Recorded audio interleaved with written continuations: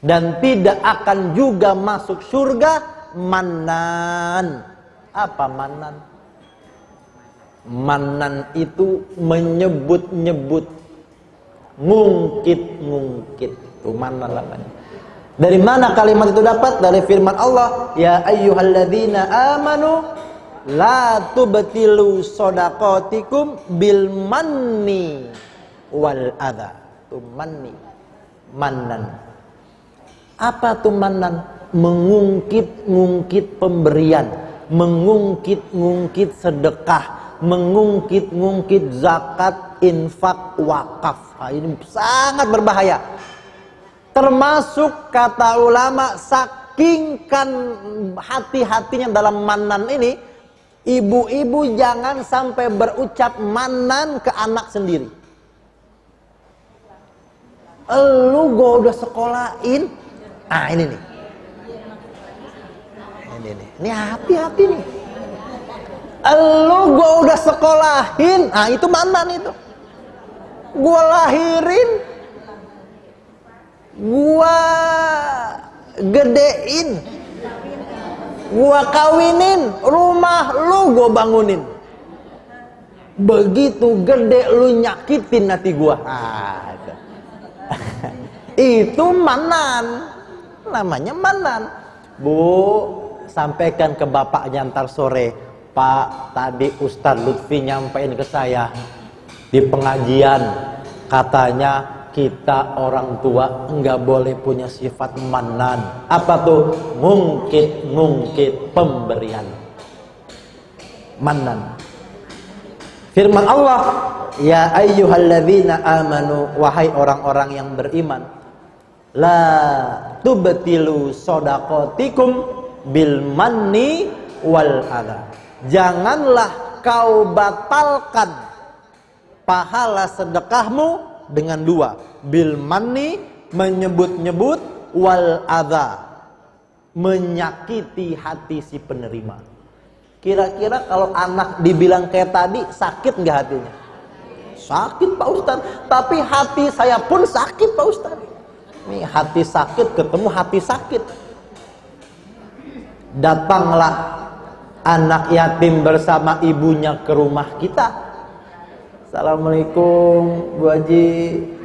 Memang rutin ini orang ke rumah kita tiap bulan. Tapi kali ini dia datang belum sebulan. Baru seminggu yang lalu kita kasih udah datang lagi. Langsung kita marah. Lu lagi, lu lagi Kan baru kemarin hari minggu dikasih Sekarang udah hari Jumat baru lima hari lu minta lagi Itu namanya azab Kira-kira si janda dan anak yatimnya nih sakit nggak digituin? Sakit lah.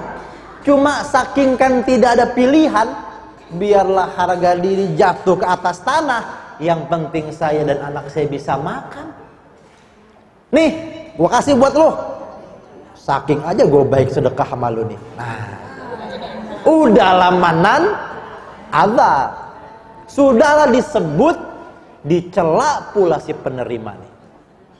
Makanya ibu-ibu mulai saat ini yuk Pak Ustadz kasih tips dong bagaimana biar enggak enggak manan bagaimana biar enggak ngungkit-ngungkit kasih tips yang pertama saya kasih tips dua dua kata untuk menghindari manan yang pertama diam yang kedua, tahan. Itu aja. Kalau kita ngasih bantuan ke orang, si penerima bantuan memberikan respon yang kurang baik, diam. Jangan ngomong. Kalau ngomong, seketika pahala sedekah hilang. Kita ngasih bantuan setahun yang lalu ke orang ini Setahun kemudian orang ini nyakitin kita.